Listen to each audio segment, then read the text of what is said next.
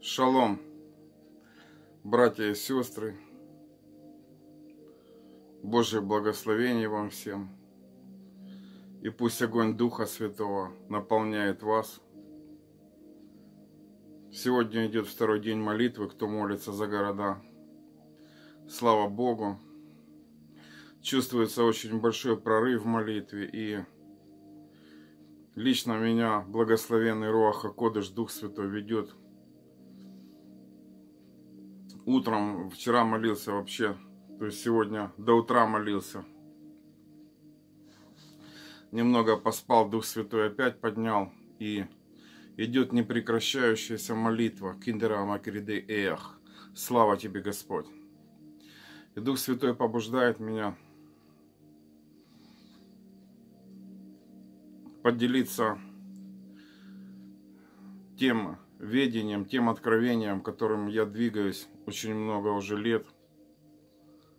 Ну, для Господа это очень мало, но для нас это много. Уже более 10 лет, даже побольше, где-то с 2000... Да, где-то с 2003 года поделиться и Дух Святой чувствуется сильное помазание. Я сейчас сам пребываю в молитве. И Дух Святой говорит, что это помазание на молитву, как начну высвобождать то, что будет Дух Святой давать, свидетельствовать, начнет сходить, кто будет принимать еще больше. Помазание на молитву. Вкратце немного за свидетельство. Я когда-то рассказывал, но сегодня Дух Святой меня побуждает – как бы раскрыть эту тему глубже. В 2003 году, когда я покаялся, более так осознанно, все очищение было еще все впереди. Через полгода я был крещен Духом Святым. И со мной начали происходить ну, определенные вещи. У меня была, я сам до сих пор не могу понять, нет, я понимаю в духе, в сердце, что это Господь. Но для плоти как бы это все необъяснимые вещи, непонятные. У меня все время, у меня появилась после того, как я особенно получил крещение Духом Святым, жажда молиться.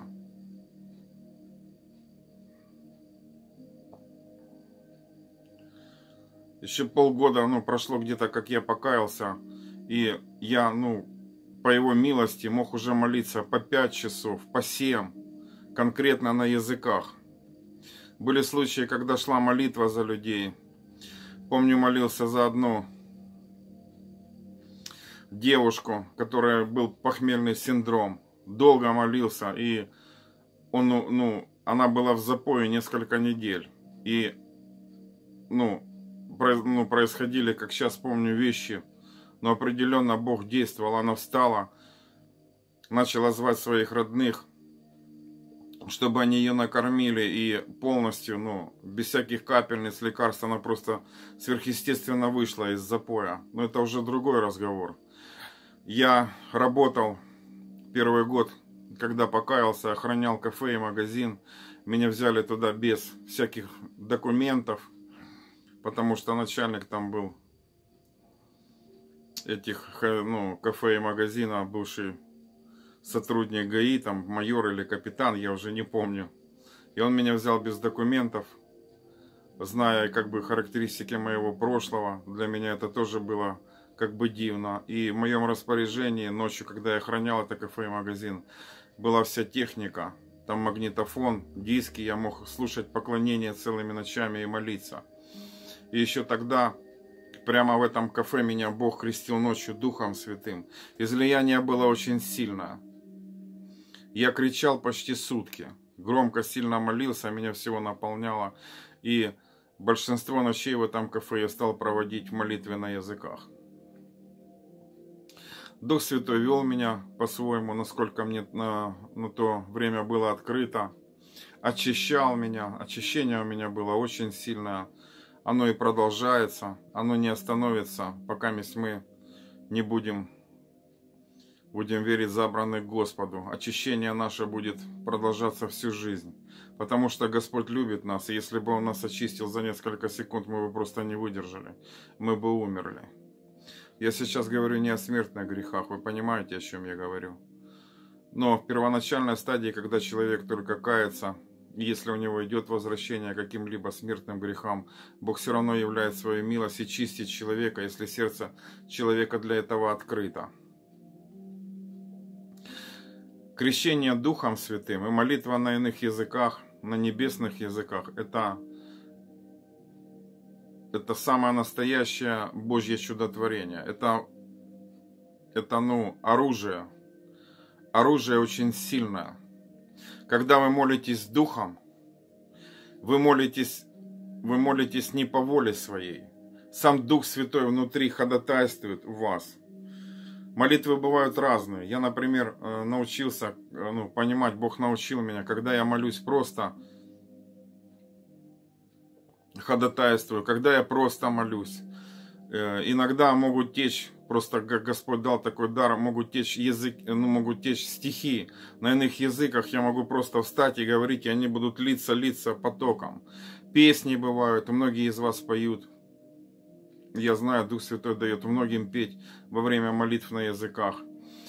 И хочу поделиться таким как бы видением с вами, внутренним откровением, что молитва на языках, она приносит очень большой плод. И сейчас мое обращение конкретно к тем, кто крещен уже Духом Святым, кто молится на языках. Хотите узнать, есть ли у вас полное посвящение Господу или нет? Или есть у вас какие-либо внутренние проблемы, от которых вам надо освободиться? Или вам что-то еще мешает? Это очень просто проверить. Вот э, бывает, я читаю, не хочу как бы на этом концентрировать внимание. Захожу на канал свой, или на канал моей жены Олечки, или на канал Пророческая. Его ведет Владимир Георгиевич Агейкин, он в Липецке живет. Старец наш благословенный. Пусть Господь сильно его благословит. Пусть Господь сильно благословит моего папу Руменского Вячеслава, который есть также участник нашего служения, который много вносит лепты в это служение, невидимо. Вы знаете, что есть в служениях различных люди, которые невидимы для всех остальных. И они трудятся очень сильно, и они через них действует реальная помощь, через их молитвы, через их другие благословения. И Господь знает этих людей, и эти люди очень благословенные. Также у нас в служении есть такие люди, которые невидимы для всех. Слава Богу за нашего брата Андрея Алипова, чуть-чуть как бы удалился от темы. Нам Господь с Ольгой дал помощников, настоящих помощников служения.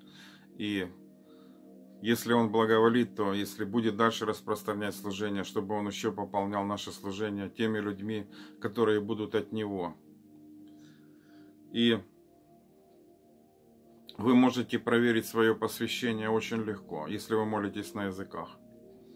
Войдите в свою тайную комнату, выберите себе день, время, как вас, у вас будет побуждение в Духе Святом, и начните просто молиться на языках. Я сейчас вам буду говорить серьезные вещи. Может, для кого-то это покажется чем-то таким неудобовразумительным, но это твердая пища. Это для тех, кто ищет твердой пищи, кто хочет расти. Если вы мало вообще молились когда-либо, начните хотя бы с часа. Потом поднимайтесь выше и выше. У вас получится. Начните молиться по 5 часов, по 7, 8, 9, 10 часов – если у кого-то хватит сил, молитесь сутки. У кого-то еще больше хватит сил, молитесь двое суток, не прекращая. Дух Святой бывает меня, я просто свидетельствую сейчас о Его славе. У меня были определенные отделения, посты. Он разрешал мне кушать, потому что когда молюсь ходатайственными молитвами, очень тяжело вообще не есть, если ты долго молишься.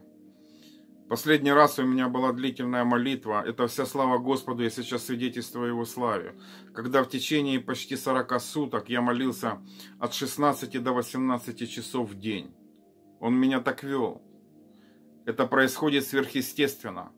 И в это время, когда ты молишься, ходатайствуешь, Он и назидает самого тебя. И Он очищает тебя от всего того, от всех тех примесей, которые внутри тебя не от Него. Он начинает заполнять тебя своими, своими откровениями, своим голосом Он говорит к тебе прямо и чутко, когда ты пребываешь в этих длительных молитвах. И я говорю вам, у кого есть жажда, начните молиться. И посвящение проверяется очень просто. Если у вас есть какие-либо сильные проблемы, и когда вы начнете молиться, я не знаю, у каждого оно может срабатывать по-разному. 5 часов, 10. У кого-то это может произойти на 20 часу молитвы, если есть очень сильные проблемы. То появится нечистота. Знаете, можно назвать такой определенный блокпост в духовном мире – Стоит бес на блокпосту, ты молишься, молишься, а он тебя не пропускает. Потому что у тебя внутри есть определенные какие-то сильные проблемы. И они начинают скрываться, бесы начинают нервничать. Что ты молишься, они видят, что ты хотят, хочешь прорваться. И они стоят на этом блокпосту и не пропускают тебя. И тут уже Конечно же, благословенный Руаха Кодыш, Дух Святой, Он будет тебе конкретно показывать проблемы. Он будет сам тебе открывать твои проблемы, от чего тебе надо отрекаться, и тогда все бесы отойдут. И ты будешь дальше молиться в победоносной молитве, в победоносном прорыве.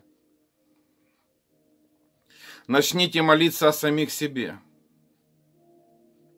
Вот есть люди, как я там немного остановился, э, не хотелось на этом сильно концентрировать внимание, но дело не в этом. Вот пишут там негативные комментарии.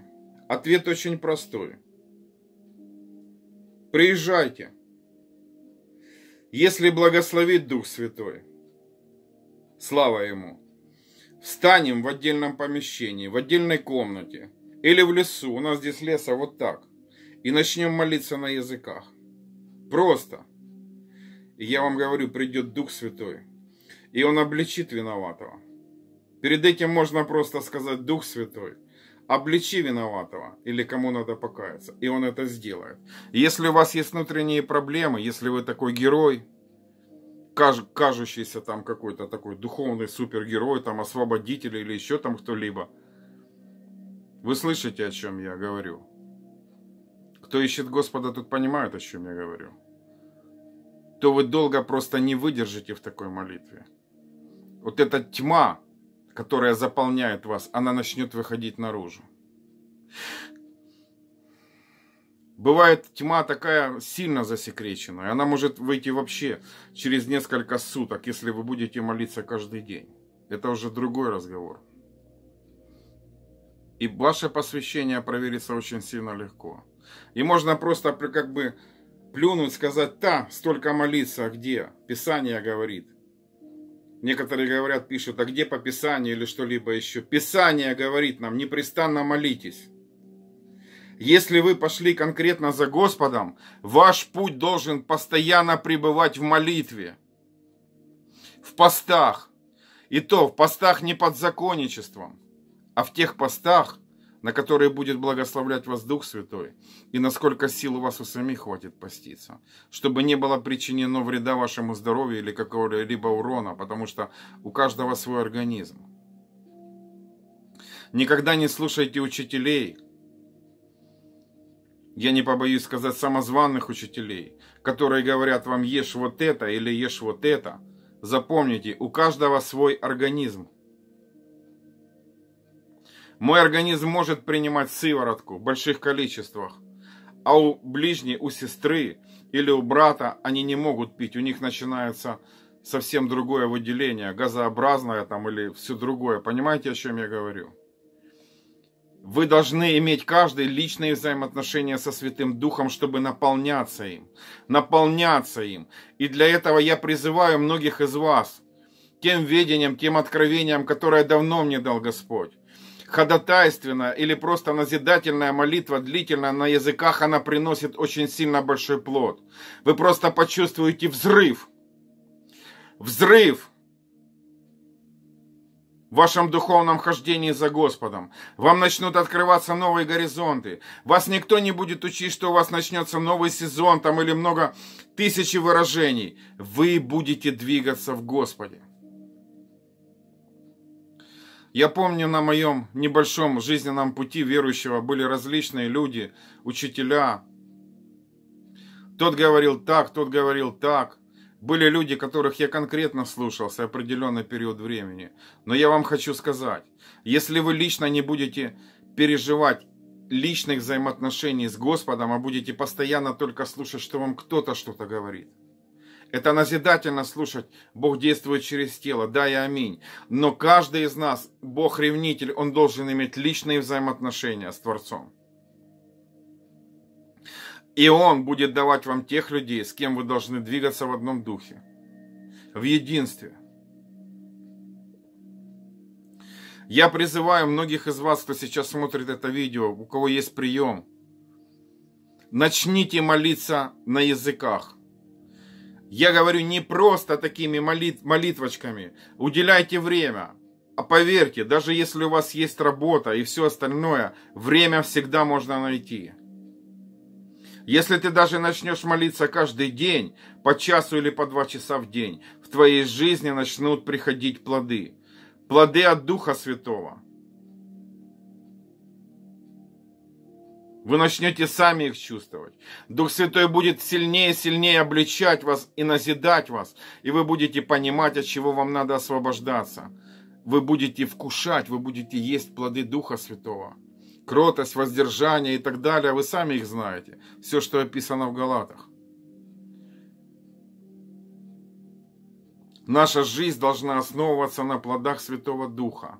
А молитва длительная на иных языках – это плоды Духа Святого. Это наша кротость и воздержание перед Господом. Это наше долготерпение, это наша радость. Это то, что мы будем исполнять Его заповеди, который сам нам сказал непрестанно молитесь.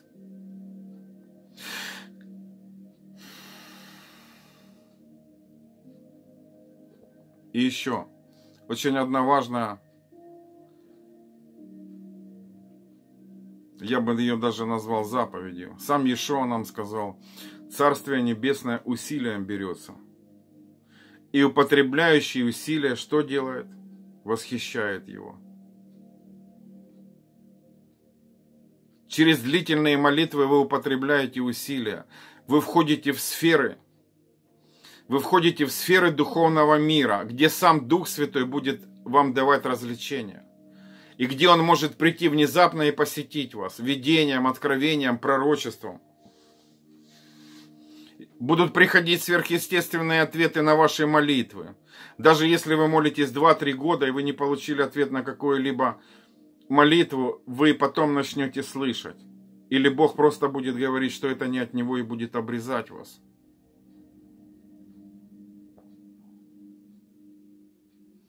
Я призываю народ Божий единству в Духе Святом. А единство в Духе Святом очень сильно приходит через состояние длительных молитв на языках. Этого бесценного дара, который дает нам Господь. Это бесценный дар. Ему нет цены просто. Мы тогда молимся по воле Отца. Есть, говорят, тут молятся там сатанисты на иных языках, и все, и все, и все, и все. По плодам видно будет, кто в тебе живет, кто тебя назидает и кто тебя обличает. Враг не будет тебя назидать, и враг не будет тебя обличать а и показывать, от чего тебе надо отречься. Запомните это. Те, кто из вас еще не крещен Духом Святым, но жаждет это, взывайте и кричите в небеса. Значит, есть определенные твердыни, если долго, долгое время вы не получаете крещение Святым Духом. Есть какие-то твердыни. И я вам говорю, что Бог воскресит с Духом Святым. Он это обещал. Если вы, будучи злые, имеете даяния благие давать детям вашим и так далее, и так далее. Многие из вас хорошо знают Писание. Но как это не печально, есть люди, которые просто знают Писание, точнее букву, но это Евангелие внутри них не ожило. Если вы хотите, чтобы Евангелие, сила Святого всего Письма жила внутри вас, молитесь на языках. Когда читаете Слово, молитесь на языках. Про себя вслух вы будете видеть, как Бог вас начинает сверхъестественно назидать. Он дал для чего-то этот дар. Это один из сильнейших даров Духа Святого, который обещал нам Господь. И еще одна очень важная характеристика даров Духа Святого. Сам Иешуа сказал, верующие же в меня будут что? Знаете, да, изгонять бесов, там, так далее, возлагать руки на больных, и будете говорить новыми языками. Если у вас нету хотя бы чего-то одного из того, что перечислил Ешо, я уже когда-то об этом говорил, то надо задуматься, верующий ли я. Жаждайте Бога, и Он придет к вам.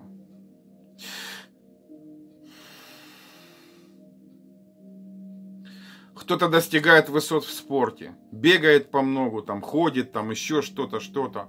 Достигайте высот в молитве на иных языках. Светлая память о человеке, которого я когда-то знал. Был такой человек в Киеве, Сережа Чупрына. Может, кто-то из вас знал его или слышал о нем. Бог через него подымал сильное молитвенное движение. Там молились по суткам, двое, трое. Шла беспрерывная молитва там неделю. Но ясно, что они как-то менялись. Я об этом движении услышал, когда уже сам как бы ну, овладевал навыками длительных молитв.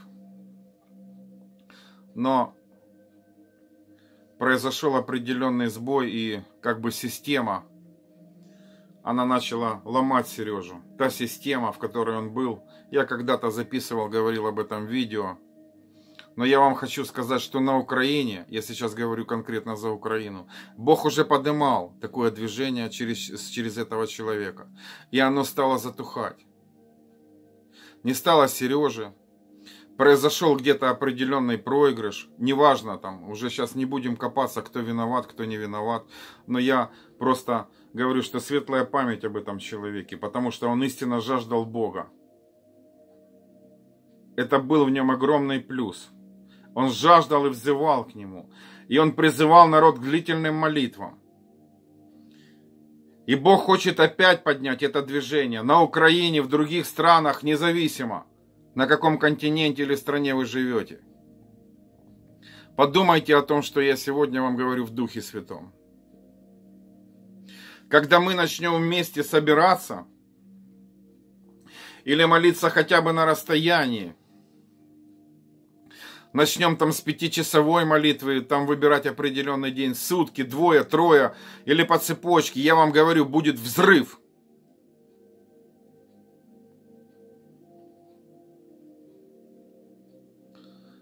Это не просто собрание, где вы пришли на ночную молитву, посидели там и ушли. Господь сейчас, я вам говорю сейчас в Духе Святом, призывает людей, которые жаждут находиться в полном посвящении. Вы хотите где-то пробуждения, начните это пробуждение с себя. Иногда пробуждение приходит не так, как его себе рисуют люди.